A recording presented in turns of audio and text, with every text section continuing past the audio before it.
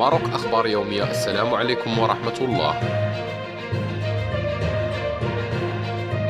اندلع حريق مهول زوال أول أمس الأربعاء بأحد المساجد العتيقة بسيدي البرنوسي بالدار البيضاء ويتعلق الأمر بمسجد الجماعة والذي يعرف عند الساكنة بمسجد البراكة.